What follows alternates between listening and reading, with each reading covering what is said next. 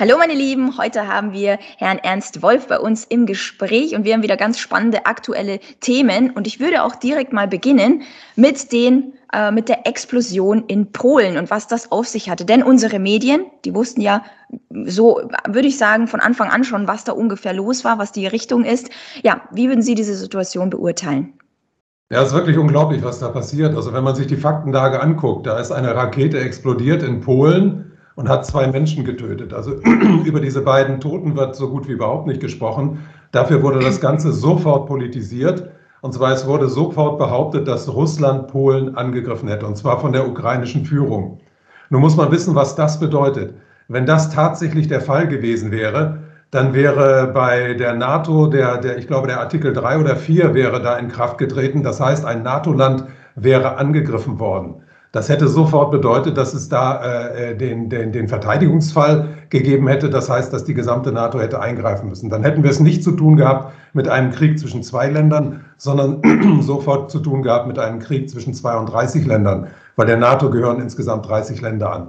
Das ist also ein, ein unglaublich gefährliches äh, äh, äh, Ereignis gewesen. Und man muss sagen, also wir wissen ja, die Faktenlage heute stellt sich so dar, dass es offensichtlich äh, die Ukraine gewesen ist, die diese Rakete abgeschossen hat. Das war eine Rakete offensichtlich russischer Bauart, die aber auch von der Ukraine benutzt wird. Ähm, der, der, der Hintergrund für mich, also ich habe diese, diese Meldung sofort, also gleich mal erstmal in Frage gestellt. Der Hintergrund für mich ist folgender. Also der Herr Zelensky äh, steckt im Moment ganz groß unter Druck. Also Zelensky ist erstmal deswegen in, in Schwierigkeiten, weil der immer neue Forderungen gestellt hat an seine ganzen Verbündeten, sowohl an die USA als auch an Deutschland. Wir wissen ja, dass er ständig Waffenforderungen gefordert hat. Und dessen äh, Image in der Öffentlichkeit ist ganz stark angekratzt. Und dieses Image hat in der letzten Woche noch einen gewaltigen Schlag bekommen, und zwar durch diese FTX-Pleite, diese Kryptobörse, die da äh, den Jordan runtergegangen ist, wo also Milliarden verschwunden sind. Und zu diesen Milliarden, da gehörten auch Spenden für die Ukraine. Also Zelensky ist im, im Moment ganz groß in der, in der Defensive und der versucht irgendwie seine Haut zu retten. Und da hat er natürlich also jetzt mal ganz, ganz heftig gezündelt und hat versucht, den dritten Weltkrieg herbeizuführen. Weil das ist nicht mehr und nicht weniger, als wenn sich da, also wenn sich das als wahr herausgestellt hätte, dann würden wir jetzt im Moment im dritten Weltkrieg äh, stehen. Das, was, was ganz interessant ist, ist, wie die Politik und wie die Medien auf das Ganze reagiert haben. Also die Politik in Deutschland äh, repräsentiert durch die größte Kriegshetzerin, die ich im Moment kenne. Das ist Frau Agnes Strack-Zimmermann von der FDP. Die hat das Ganze sofort aufgegriffen, als wenn es ein Fakt wäre, hat sich dann später korrigieren müssen, hat inzwischen gesagt, sie bereut überhaupt nichts. Also das, das, schlimmst, das schlimmstmögliche Statement, was man danach noch abgeben kann. Und man darf nicht vergessen, diese Frau hat eine, spielt eine ganz gewichtige Rolle. Die ist nämlich die Vorsitzende des Verteidigungsausschusses im Bundestag also der höchsten militärischen, äh, militärisch-politischen äh, Instanz in Deutschland. Also die hat das sofort aufgenommen. Also das ist natürlich ungeheuer gefährlich. Und die Medien haben das sofort aufgenommen. Also die Medien, die Bild-Zeitung hat das sofort berichtet, andere Zeitungen haben das berichtet, äh, diverse Portale im Internet haben das sofort berichtet. Und wir wissen ja, dass das kein Einzelfall ist. Wir wissen ja, dass es das in der Vergangenheit gegeben hat. Also Sie haben ja auch darüber geschrieben. Ich habe ja, ich lese ja gerade Ihr Buch im Moment und da haben Sie auch geschrieben über, ich glaube, das war einmal Pearl Harbor. Da ist ja auch so was Ähnliches passiert. Und dann äh, war es, glaube ich, im, im Falle des Irak ich glaube, da waren es die Massenvernichtungswaffen, die da als, als Anlass genommen wurden. Das, das war die Brutkastenlüge, die, die genau, da thematisiert ja, die, wurde. Genau, genau. Das, das war, äh, weil das genauso wie Sie sagen, man muss einfach nur in der Vergangenheit, in die Vergangenheit schauen und sehen, was da äh, die Medien an Einfluss haben, um das zu verändern. Und zum Beispiel wie bei der Brutkastenlüge, da war es ja im Grunde auch nur, dass der US-amerikanische Präsident Bush Senior eine Legitimierung des Krieges eben gegen den Irak in der Bevölkerung äh, äh, finden wollte oder ähm, machen, kreieren wollte, ja, weil die Bevölkerung nicht dafür war. Und da haben, haben sie eiskalt eine PR-Agentur beauftragt um dann sozusagen diesen Krieg zu befürworten, damit im Volk das passiert. Und genau das, so wie Sie gesagt haben, genau das sieht man ja jetzt gerade, wie also wirklich äh, die Menschen in den sozialen Medien gefordert haben, dass die NATO doch jetzt endlich Russland angreifen soll. Und das ist doch das, der, der Fakt, der dabei rauskommt, äh, welche Macht eben die Medien haben. Ja, genau. Also auch, auch, das andere Beispiel Pearl Harbor. Also die Amerikaner sind ja in den Zweiten Weltkrieg relativ spät erst eingetreten. Die brauchten auch einen Vorwand und diesen Vorwand haben sie damals offensichtlich selbst geschaffen. Und ich muss sagen, also mir, mir riecht das Ganze auch danach, dass äh, auf Befehl vermutlich von Herrn Zelensky da etwas passiert ist und dass er das dann äh, einfach benutzen wollte. Also wie gesagt, besonders schändlich finde ich auch dabei, äh, dass die, die Opfer äh, überhaupt nicht berücksichtigt werden. Ich meine, dass, da ist ein, ein Bauernhof offensichtlich in, in äh, Flammen aufgegangen. Da sind zwei Menschen auf, auf schreckliche Weise gestorben. Aber diese zwei Menschen sind nie mit Namen erwähnt worden. Da ist auch nie äh, gesagt worden, wer, wer genau das nun ist. Also da werden, wird mit Menschenleben gespielt. Das spielt überhaupt gar keine Rolle mehr in unserer Zeit. Und das sollte uns wirklich allen zu denken geben, diese, diese Entwicklung. Ja, das ist wirklich gruselig. Und genau wie Sie genannt haben, die Strack Zimmermann, die auch immer vorne rum sagt, das Wichtige ist doch die ukrainische Bevölkerung. Und deswegen müssen wir weiter Krieg führen oder Waffen ja. liefern oder sonst was. Also diese ganze Paradoxe und genauso das Volk, das dann denkt, ich bin doch friedliebend, ich bin für den Frieden und deswegen brauchen wir Krieg. Ja. Und das schaffen die Medien. Ja, ganz genau, ganz genau. Äh, ich möchte noch auf ein anderes Thema eingehen, und zwar das Treffen der G20 in Bali. Und da äh, habe ich die erste Frage oder was ich denke, dass sich jeder fragt, was macht ein Klaus Schwab vom Weltwirtschaftsforum auf diesem Treffen? Ja, das ist ganz interessant, weil das Weltwirtschaftsforum ist ja nichts anderes als eine Stiftung mit Sitz in der Schweiz. Und äh, der Klaus Schwab ist weder von irgendjemandem gewählt noch von irgendjemandem legitimiert. Also das ist schon ganz interessant, dass der da aufgetaucht ist. Aber wenn man da in die Geschichte des WEF mal eintaucht, dann weiß man, dass das kein Zufall ist. Also die G20 sind ja die Nachfolgeorganisation der G8 und die G8 sind die Nachfolgeorganisation der G7. Also die G7 sind 1973 mal gegründet worden.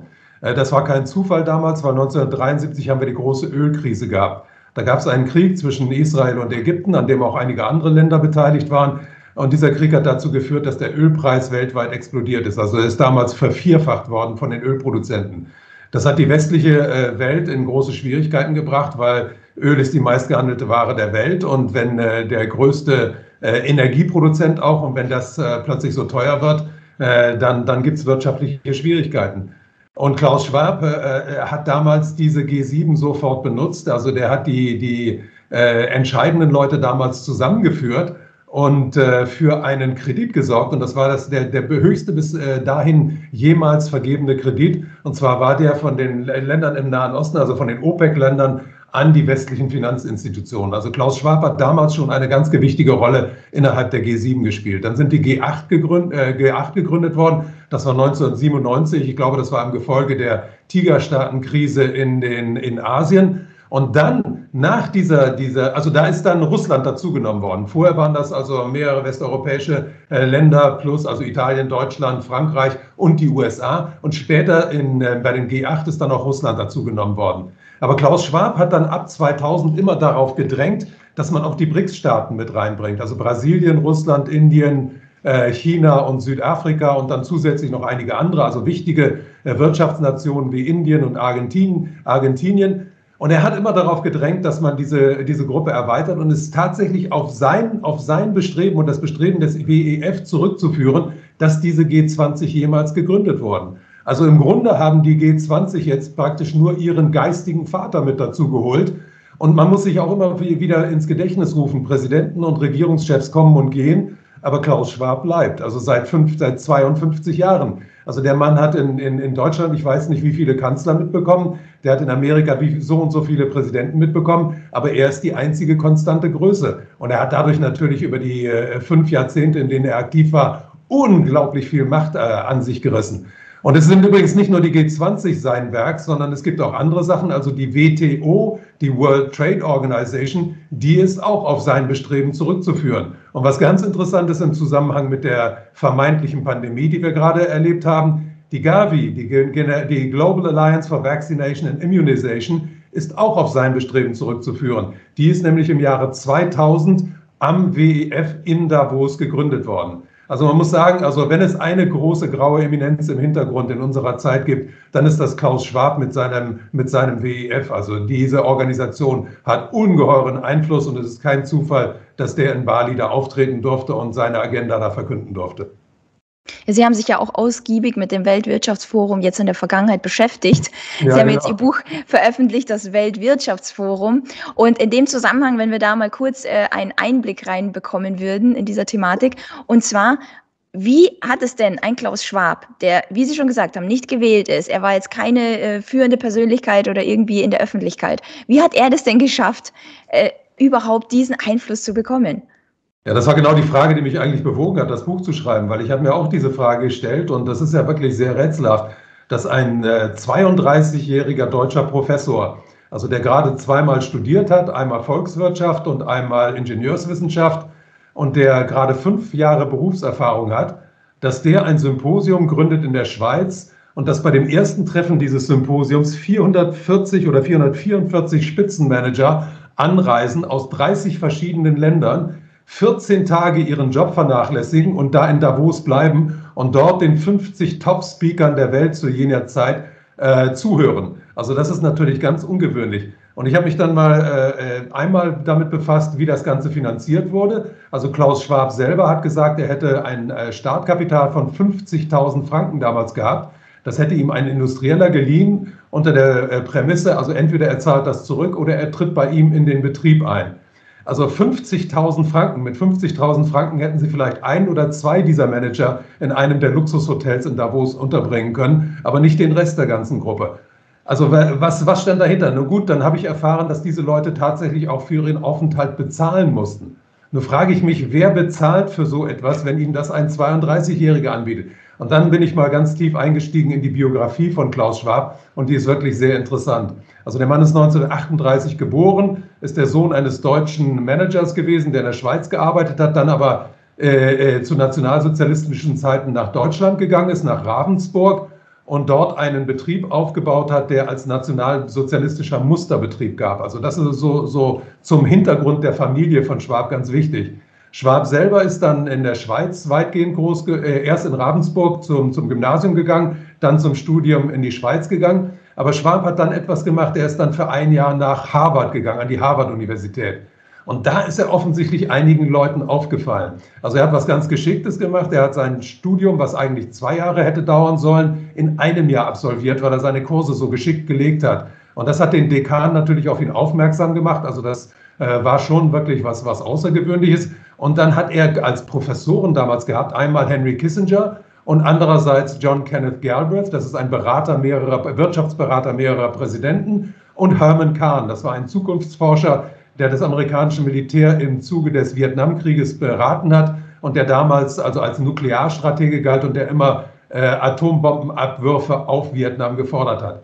Also diese drei Leute haben ihn geprägt und Klaus Schwab sagt heute ganz offen, dass Henry Kissinger eine der wichtigsten Figuren in seinem Leben gewesen wäre. Nun muss man wissen, Henry Kissinger ist direkt und, und sehr intensiv verbunden mit der gesamten amerikanischen Elite, genauso wie es John Kenneth Galbraith und äh, Herman Kahn waren. Und Henry Kissinger ist später Außenminister der USA und Sicherheitsberater des Präsidenten geworden. Also da, äh, und dann muss man auch noch wissen, dass die amerikanische Elite in den 60er Jahren, also in den Jahren 68, 69 oder 67 bis 69, als Schwab da drüben war, dass die damals ein großes Problem hatte. Und zwar gab es in Europa eine Bewegung von vielen Industriellen, die gerne äh, wollten, dass man sich unabhängiger von den USA macht. Die hatten also ein bisschen Angst, dass die USA noch mehr Macht und noch mehr Einfluss in Westeuropa gewinnen können. Und da äh, gab es ein Buch, das war von einem französischen Medienmogul geschrieben, Servan Schreiber hieß der, der auch in die Politik gegangen ist. Äh, das hieß die, Europä die amerikanische Herausforderung. Also dieses Buch ist damals sehr populär geworden.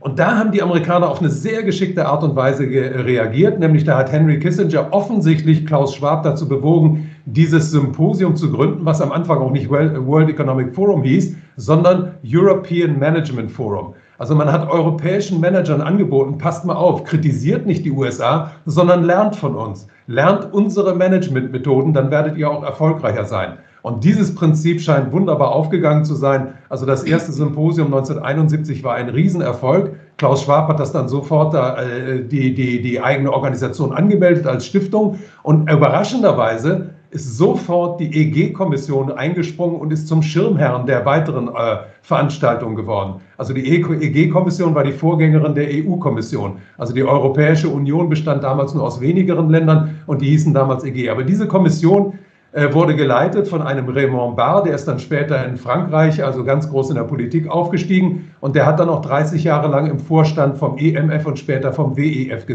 äh, gesessen. Also da ist sofort der Brückenschlag zwischen Politik und Wirtschaft gemacht worden und auch der Brückenschlag zwischen Amerika und Europa. Und ich denke, dass Klaus Schwab da im Grunde nichts anderes gewesen ist als äh, mehr oder weniger so der, der Frontmann einer Agenda, die im Hintergrund beschlossen wurde. Weil das alles hat natürlich auch enorm viel Geld gekostet und dieses Geld hatte Klaus Schwab gar nicht. Aber er war offensichtlich ein, ein willentlicher Diener seiner, seiner Herren und hat das alles ganz gut gemacht. Und er hat es dann natürlich auf äh, sehr geschickte Weise verstanden, seine Macht im Laufe der Jahre immer ähm, stärker auszuweiten. Wow, also was, was da für Hintergründe stecken, das kriegen wir bei unseren Medien definitiv nicht erzählt. Das denke ich auch. Nee, das wird den Leuten verschwiegen. Interessant ist, dass das World Economic Forum relativ offen immer gearbeitet hat. Also die haben sich nie Mühe gegeben, sich zu verstecken. Also diese Treffen in Davos sind ja weltweit eigentlich bekannt. Also man wusste schon seit vielen Jahren, dass in Davos in der zweiten Hälfte des Januar immer die Reichen der Welt und die Mächtigen der Welt zusammenkommen. Also in den letzten 30 Jahren waren es immer so 25 bis 45 Präsidenten und Regierungschefs, die angereist sind. Und dann war es natürlich die ultrareiche Elite der Welt. Dazu kamen dann auch noch Medienvertreter und so weiter die hat ja Klaus Schwab zum großen Teil dann auch selber ausgebildet ab den 90er Jahren. Aber die Öffentlichkeit, die hat immer nur auf diese äh, eine Veranstaltung geguckt. Es gab aber massenweise Veranstaltungen im Hintergrund, die auch nicht nur in der Schweiz stattgefunden haben, sondern in Asien, in Afrika, in den USA. Da wurden die Leute, die dem der WEF wohlgesonnen waren, die wurden dann mit Präsidenten überall auf der Welt oder mit Regierungschefs zusammengebracht. Da wurden eine riesige Veranstaltung organisiert für Geschäftsleute, wo teilweise zum Beispiel in Montreux 1500 Geschäftsleute aus dem Nahen Osten mit äh, Geschäftsleuten aus Europa und US, den USA zusammengekommen sind. Also da ist unglaublich viel gemacht worden. Und Klaus Schwab war einer der ersten, der erkannt hat damals, wie wichtig China für die Weltwirtschaft wird. Also ganz viel von dem, was China innerhalb der Weltwirtschaft erreicht hat, hat es über, dieses, äh, über diesen Kontakt zu Klaus Schwab äh, geschaffen. Klaus Schwab hat ein eigenes Büro dann irgendwann in Beijing eröffnet, das sein eigener Sohn eine ganze Zeit lang geleitet hat. Und äh, bei den Treffen, die auch in China stattgefunden haben, in Tianjin, wo ich ja mal geboren bin, und in Dalian, äh, da sind dann auch immer die chinesischen Premierminister, also das war Li Keqiang einmal, das war Wen Jiabao, die sind da aufgetreten und daran sieht man, dass äh, Klaus Schwab gleich also direkte Beziehungen zu der allerhöchsten Spitze in China geschaffen hat und dass er wirklich ganz stark dazu beigetragen hat, dass China heute die größte Handelsnation der Welt ist. Ja, ein Durchschnittsbürger, wenn überhaupt, ist sozusagen das Wissen, was von den Medien kommt, dass eben diese Veranstaltung und wie ein Klaus Schwab sagt, es ist eine Plattform der Diskussion, einfach eine kleine Ideenfindung, wo alle zusammenkommen. Ja, er hat es ja wirklich geschafft, auch die ganzen Kritiker damit reinzunehmen. Das ist natürlich ein, eine strategisch unglaublich geschickter Schachzug gewesen. Also das hat in den 70er Jahren angefangen. Also der 73 war das dritte äh, Forum und damals gab es sehr viel Kritik, des, gerade an den Amerikanern. Deswegen, weil in Chile ein Putsch stattgefunden hat damals mit Hilfe des CIA. Da ist der sozialistische Präsident ermordet worden. Da gab es einige tausend Tote. Und da hat General Pinochet, also ein rechtsradikaler General, in Chile die Macht übernommen. Und da gab es sehr große Kritik an äh, gerade den USA und allen, die das unterstützt haben. Da hat Klaus Schwab einfach reagiert, indem er einen der wichtigsten Bischöfe aus Brasilien eingeladen hat. Und der hat da eine flammende Rede über Menschenrechte gehalten, sodass alle geglaubt haben, also tatsächlich der Klaus Schwab ist an einem Ausgleich zwischen den Kräften interessiert. Der lässt auch die Opposition zu Wort kommen. Und äh, da muss man aber sagen, dass Klaus Schwab sich in den letzten zwei Jahren als genau das Gegenteil geoutet hat. Weil wenn es einen Menschen auf der Welt gegeben hätte, der den Ukraine-Krieg hätte verhindern können, dann wäre das Klaus Schwab gewesen. Klaus Schwab ist vernetzt mit Joe Biden, Klaus Schwab ist vernetzt mit Herrn Zelensky, Klaus Schwab kennt äh, äh Wladimir Putin, weil das einer seiner Young Global Leaders gewesen ist. Klaus Schwab hat direkte Beziehungen zur EU-Kommission. Frau von der Leyen hat in seinem Vorstand gesessen und Klaus Schwab ist auch sehr eng bekannt mit dem NATO-Generalsekretär, der übrigens nicht nur NATO-Generalsekretär gewesen ist in den letzten Jahren, sondern davor auch noch Vorsitzender der Gavi, die von Klaus Schwab mitgegründet wurde. Also da gibt es ein Netzwerk von Leuten, die er hätte zusammenbringen können und die diesen Krieg hätten verhindern können. Und genau das hat er nicht getan. Und deswegen kann man sagen, diese ganze äh, Strategie der, der, den, den Leuten da äh, der, äh, klar zu machen zu wollen, dass man eigentlich also die verschiedenen Parteien an einen Tisch bringt. Das ist nichts anderes als Augenwischerei. Das, ist, das sind nichts anderes als Lügen, die verbreitet werden. In Wirklichkeit ist Klaus Schwab, steckt Klaus Schwab genauso hinter diesem Krieg wie die gesamte Elite der Welt.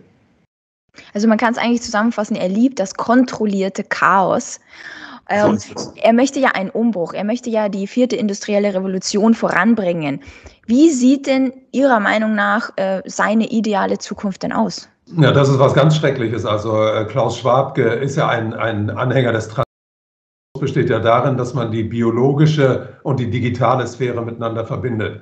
Also das äh, Ganze gilt auch als, als biodigitale Konvergenz, also das Zusammenkommen dieser beiden Sphären. Und das bedeutet nichts anderes, als dass dem Menschen entweder Implantate eingesetzt werden oder dass der Mensch über, über irgendeine andere äh, Möglichkeit, entweder äh, möglicherweise injektiert äh, von bestimmten Stoffen oder über Magnetwellen oder so beeinflusst werden kann. Also der Traum ist, ist ähnlich wie der Traum von Elon Musk. Also Elon Musk betreibt ja mit Neuralink eine Firma, die in diesem äh, Bereich ganz stark aktiv ist. Der lässt Leuten ja Implantate ins Gehirn einpflanzen, sodass sie dann zum Beispiel mit der Suchmaschine von Google verbunden sind. Also diese Leute brauchen dann nicht mehr an ihren Computer zu gehen, sondern können die Suchergebnisse über die Steuerung ihrer Gedanken abrufen. Das bedeutet natürlich nichts anderes, als dass man sich absolut diesen Unternehmen, die diese Informationen zur Verfügung stellt, unterwirft. Also das ist kein Fortschritt für, die, für das Wissen der Menschheit, sondern das ist eine Einschränkung, eine unglaubliche Einschränkung und eine, eine, eine Manipulationsmöglichkeit für ganz wenige, auf die die die Massen dann eben kontrollieren können. Und ich muss sagen, es gibt mehrere Interviews von Klaus Schwab, wo er ganz begeistert darüber redet, über diese Möglichkeiten der Verbindung der biologischen und der digitalen äh, Sphäre. Und ich muss sagen, das ist unendlich viel gefährlicher als das, was er im politischen und wirtschaftlichen Bereich in den vergangenen Jahren angerichtet hat. Also für mich ist Klaus Schwab genauso wie Elon Musk, das sind für mich also ganz, ganz gefährliche Personen, die uns in eine absolut schreckliche Zukunft führen wollen. Ja, also kann ich nur zustimmen. Und apropos ideale Zukunft, wenn wir kurz nochmal ähm, bei dem G20 äh, Treffen bleiben. Da habe ich mir nämlich ein Zitat rausgeschrieben vom indonesischen Gesundheitsminister, der sich die Zukunft auch ganz genau vorstellt. Und zwar hat er gesagt, wir sollten ein digitales Gesundheitszertifikat für alle einführen, das von der WHO betreut wird. Dann müssten wir in einer solchen Krise nicht mehr alle einsperren, sondern könnten die, die eine Injektion haben oder getestet sind, frei herumlaufen lassen und müssten unsere Wirtschaft nicht mehr schaden. Also was sagen Sie dazu? Es ist unglaublich manipulativ formuliert, weil man sagt, wir können die und die freilassen. Er könnte genauso gut sagen, wir müssen aber all die, die sich nicht impfen lassen oder die sich nicht testen lassen, die müssen wir alle einsperren. Das hat er allerdings verhindert. Also das hat er jedenfalls nicht erwähnt. Aber das ist die Quintessenz dessen, was er da gesagt hat. Und ich muss sagen, das ist also eine ganz schreckliche Agenda, die leider äh, inzwischen, also gerade in, in China schon, schon weitgehend so, so äh, durchgeführt worden ist. Also äh, wenn wir wissen wollen, was uns da droht, dann müssen wir wirklich den Blick nach China richten. In China gibt es ja diese Gesundheitszertifikate und wie die missbraucht werden, das haben wir in den letzten Monaten gesehen. Also in China ist ja im letzten Herbst der große Immobiliengigant äh, Evergrande zusammengebrochen und das hat dazu geführt, dass mehrere Banken zusammengebrochen sind, dass den Leuten also äh, auf ihren Konten nichts mehr geblieben ist. Und diese Leute wollten dann vor den Banken demonstrieren, aber diese Demonstrationen sind nicht zustande gekommen, weil die App, die Gesundheits-App dieser Leute auf Rot umgesprungen sind. Also die ganzen Kunden dieser Banken hatten plötzlich rote Gesundheits-Apps, was mit ihrer Gesundheit so gut wie nichts zu tun hatte. Also da kann man sehen, wie die Leute dann manipuliert werden können, wie wir alle dann manipuliert werden können. Also das ist eine Zukunft, die uns äh, unbedingt erspart bleiben sollte, die uns aber nicht erspart bleiben wird, wenn die Leute sich nicht dagegen wehren. Weil dahin geht der Zug im Moment. Also jetzt im Moment sehen wir, dass die ganzen Maßnahmen so ein bisschen zurückgefahren werden. Aber das hat damit zu tun, dass einfach die Begründungen dafür fehlen. Also bei uns in Deutschland zum Beispiel gehen die Inzidenzen zurück, auf die man sich ja immer berufen hat. Es gibt in der äh, Bevölkerung auch eine große Müdigkeit, was diese Maßnahmen anbetrifft.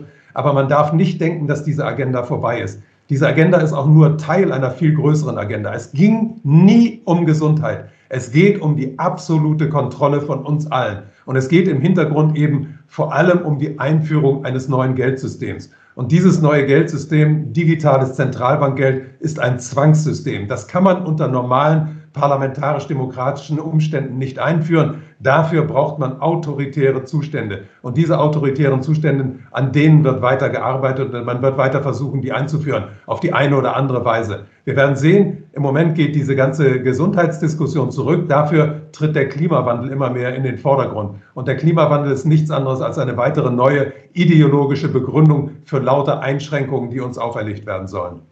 Genau, das sehen wir jetzt gerade. Ich sage ja auch immer wieder, das, was geschehen ist, das müsste eigentlich aufgearbeitet werden. Und man, wie Sie sagen, diese autoritären Verhältnisse, die wir seit 2020 auch sehr stark gespürt haben, dass das möglich ist, das muss ja aufgearbeitet werden, dass das eben nicht möglich ist. Weil ansonsten, ähm, ja, können wir so gleich das Wort Demokratie streichen. Absolut. Und, und ähm, ja, äh, im Hintergrund, wie Sie schon gesagt haben, digitale Zentralbankwährung, da gehen ja auch einige Dinge voran. Und ich möchte auf ein Thema noch eingehen, wo die Zuschauer auch schon Spekulationen betrieben haben, und zwar das Thema BlackRock. Weil äh, BlackRocks Vermögen ja geschrumpft ist und man spekuliert jetzt darum, ob BlackRock möglicherweise jetzt eben pleite geht. Was, was sagen Sie? Was haben Sie für Informationen? Ja, das ist eine ganz interessante Sache, weil BlackRock hat ja im letzten Jahr also äh, ein äh, Riesenvermögen verwaltet von äh, 10,1 Billionen Dollar. Und wenn man jetzt äh, in die äh, Statistiken hineinsieht, dann ist das geschrumpft auf 7,9 etwas. Also ist um mehr als 2 Billionen, das sind 2000 Milliarden zurückgegangen. Äh, da kursieren jetzt die ersten Gerüchte im Internet, dass BlackRock vor der Pleite steht oder dass die in Riesenschwierigkeiten sind oder dass die von den Zentralbanken in Schwierigkeiten gebracht wurden. Nur muss man dazu wissen, dass die Zentralbanken heute eigentlich von BlackRock gelenkt werden. Also die Zentralbanken waren 2008 nicht mehr in der Lage, das System aus eigener Kraft zu stützen. Die brauchten damals Informationen und diese Informationen hatte nur BlackRock, weil BlackRock betreibt das größte Daten, Finanzdatenanalyse-System der Erde. Das heißt Aladdin und auf das müssen die Zentralbanken seit 2008 zurückgreifen. Und die Zentralbanken können auch gar nichts äh, beschließen, was BlackRock schadet, weil BlackRock zusammen mit Vanguard und den anderen Vermögensverwaltern, an denen die beiden als Hauptaktionäre beteiligt sind, die können jeden Markt der Welt in jede beliebige Richtung äh, äh, bewegen.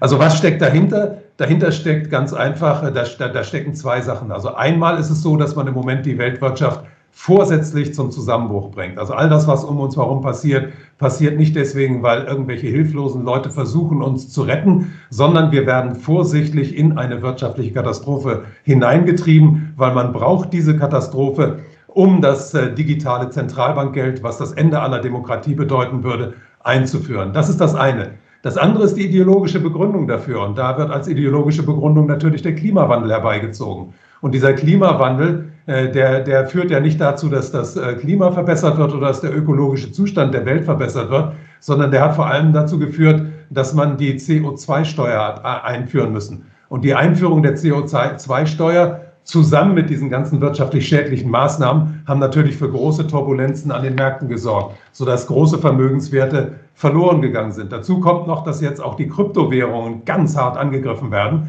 Also das ist in meinen Augen auch kein Zufall. Also der FTX-Zusammenbruch, der Zusammenbruch der äh, einer absolut super korrupten äh, Börse, äh, von der aber die Regulatoren die ganze Zeit wussten, dass sie total korrupt ist und wobei die Regulatoren das auch äh, äh, geduldet haben, wobei man im Hintergrund auch noch wissen müssen, dass diese Regulatoren auch noch mit der Demokratischen Partei in den USA äh, zusammenhängen und denen also riesige Summen aus dem Vermögen von FTX als Wahlkampfhilfe zur Verfügung gestellt haben. Also äh, da ist einiges im Gang im Moment, was äh, diese riesigen Turbulenzen auslöst. Aber diese Turbulenzen schaden vor allem einer Gruppe, nämlich dem Mittelstand. Also was wir im Moment sehen, ist ein weltweiter Generalangriff auf den Mittelstand. Der reißt natürlich auch einige Großunternehmen mit rein. Also wir wissen ja auch, dass die großen IT-Unternehmen im Moment, dass deren Börsenwerte ganz stark, äh, ab, also teilweise stark abgenommen haben, äh, dass auch Amazon zum Beispiel im Moment nicht so gut dasteht wie noch vor einem halben Jahr. Aber man darf nie vergessen, diese Großunternehmen sitzen auf riesigen Geldbergen und auf riesigen Vermögenswerten. Also BlackRock, die können auch noch weitere zwei äh, Billionen verlieren. Die können auch vier oder fünf Billionen noch verlieren. Die werden trotzdem weiter oben schwimmen. Wer nicht weiter mitschwimmen wird können, das ist der Mittelstand. Und es geht im Moment darum, diesen Mittelstand zu zerstören, weil natürlich die Plattformindustrie, also die Industrie, äh, das Industriemodell der IT-Industrie, hinter der auch die Vermögensverwalter stehen, weil das gefördert werden soll. Und was natürlich ganz gefährlich dabei ist, dass der, der, der profitabelste Bereich äh, an, an äh, Unternehmen im Moment in der Rüstungsindustrie sitzt. Also die Rüstungsindustrie wird total beherrscht von der Digitalindustrie. Dahinter stehen die Vermögensverwalter. Also das ist deren Hauptgeldquelle. Also gleichzeitig mit der Vernichtung und der äh, mutwilligen Zerstörung der Weltwirtschaft geht wahrscheinlich in der nächsten Zeit einher die weitere Ausweitung des Krieges zwischen der Ukraine und Russland. Also es gibt ja zwei weitere Kriegsherde, einmal den Nahen Osten und äh, den, den anderen Kriegsherd Taiwan, wo immer weiter gezündelt wird. Und ich fürchte, dass man da wirklich in Versuchung geraten wird, diese Kriegsherde auch noch zu entzünden. Also wir stehen vor ganz gefährlichen Zeiten, aber man muss immer wissen, was dahinter steht. Und das gibt auch eine positive Nachricht, weil dieser ganze Great Reset ist ganz gewaltig ins Stocken geraten. Also die, die, diese, diese Agenda äh, wird immer mehr Leuten im Moment klar, ist von einer Unmenschlichkeit, die, die, die einen wirklich sprachlos macht. Und es gibt auch gerade bei den IT-Konzernen im Moment riesige Probleme, weil die offensichtlich ganz schwer sich vertan haben und überreizt haben. Also ganz interessant ist der Fall Meta, Facebook. Die haben in den letzten zwei Jahren darauf gesetzt, auf das äh, Metaversum. Also wir alle sollen dann nur noch mit äh, äh, VR-Brillen. VR-Brillen, ja Virtual Reality-Brillen rumlaufen und dann irgendwo sitzen und glauben, dass wir in einer anderen Welt sind. Also Bill, äh, der, der Mark Zuckerberg hat ja ganz vollmundig gesagt, in ein paar Jahren wird mindestens ein Prozent der Zeit der, der Leute im Metaversum stattfinden dann wurden diese ganzen Meldungen überall äh, verbreitet, dass Leute sich da einkaufen im Metaversum, dass bereits millionenschwere Hotel- und Hauskäufe getätigt wurden. Ich halte das alles für eine, eine PR-Aktion, nur um dieses Metaversum interessant zu machen. Tatsächlich ist dieses Metaversum ein Riesenmisserfolg und hat dazu geführt, dass äh, Mark Zuckerberg sehr, sehr viel Geld verloren hat, das Unternehmen also im, in seinem Börsenwert ganz stark eingebüßt hat, gerade letzte Woche erstmal 10.000 oder 11.000 Leute hat entlassen äh, müssen. Da werden weitere Leute folgen. Und das Ganze zeigt mir, dass die Leute äh, auf diesem Weg einfach nicht mehr mitgehen. Also Eltern sind nicht bereit, ihre Kinder mit so einer Brille im Kinderzimmer sitzen zu lassen. Die Leute haben keine Lust, sich aus dieser Welt zu verabschieden und in eine Scheinwelt dann einzutauchen, äh, während in dieser Welt alles zerbricht. Also die Leute merken, in welche Richtung dieser, diese transhumanistische Agenda sie führt. Und ich glaube, die Leute sind zu großen Teilen nicht mehr bereit, da mitzugehen. Wir sehen noch nicht so viele Proteste, aber die Einstellung der Leute, die hat sich äh, gewaltig geändert in den letzten zwölf Monaten. Deswegen ist es auch so wichtig, meiner Meinung nach, dass wir alle, also sowohl wir beide bei dem Interview als auch die Zuschauer, dazu beitragen, dass solche Informationen dann auch weiter geteilt werden, dass solche Informationen verbreitet werden, weil, wie Sie schon gesagt haben, es ähm, es ist kein geradliniger Plan, der so funktioniert. Ja? Die ja. Bevölkerung, die Menschen müssen erst mitspielen. Ja. Und deswegen ist so wichtig, äh, jeder Einzelne, den man sozusagen da wachrüttelt und sagt, Moment, das ist vielleicht nicht die Zukunft, die du dir wünschst, ja, äh, ist jemand, der da einfach nicht mehr mitmacht. Ganz genau, ganz genau, so ist es. Und deswegen, liebe Zuschauer, also gerne dieses Video auch teilen oder einfach die Informationen an andere Menschen verbreiten, damit wir einfach dazu beitragen, dass das Ganze nicht im idealen Plan vorangeht, und ich danke Ihnen für diese ganzen Informationen ähm, für, bei der aktuellen Lage, damit man einfach einen anderen Blickwinkel zu dem derzeitigen Geschehen hat. Vielen Dank.